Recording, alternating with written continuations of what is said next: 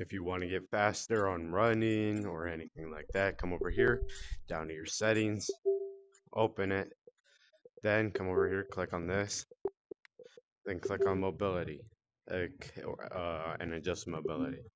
Enjoy.